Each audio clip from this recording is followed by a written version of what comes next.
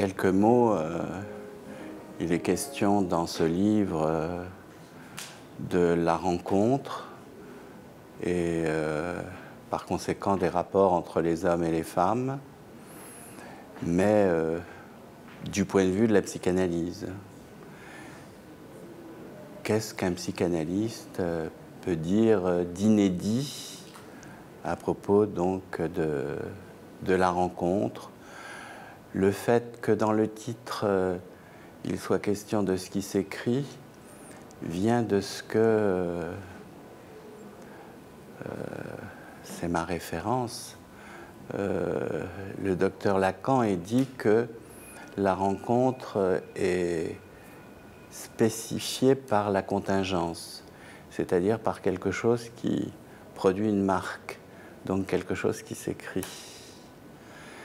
Et euh, j'ai donc mis l'accent là-dessus, sur le fait que, en effet, euh, l'on est marqué par ce qui vous arrive. Euh, et du coup, ça, ça fait que l'on parle de l'amour, du désir et de la jouissance en d'autres termes que dans d'autres champs. La psychanalyse, elle propose une certaine articulation euh, de ce que c'est qu'un événement euh, qui d'ailleurs euh, implique le corps, les symptômes, les fantasmes.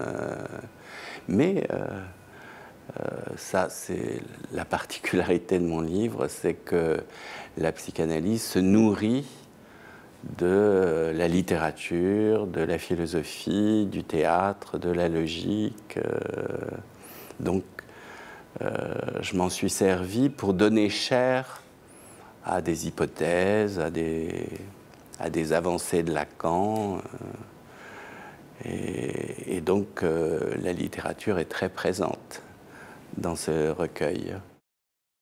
Je crois que la rencontre euh, modifie euh, le monde. Donc modifie même euh, les autres types de liens, de liens sociaux. Il y a quelque chose qui se, produit à partir de, de, de, ce, de cet éclair, de, ce, de cette source. Il y a une rupture qui advient dans le savoir. Donc ça change euh, la façon dont on considère le monde. Quand une rencontre a lieu, le monde change.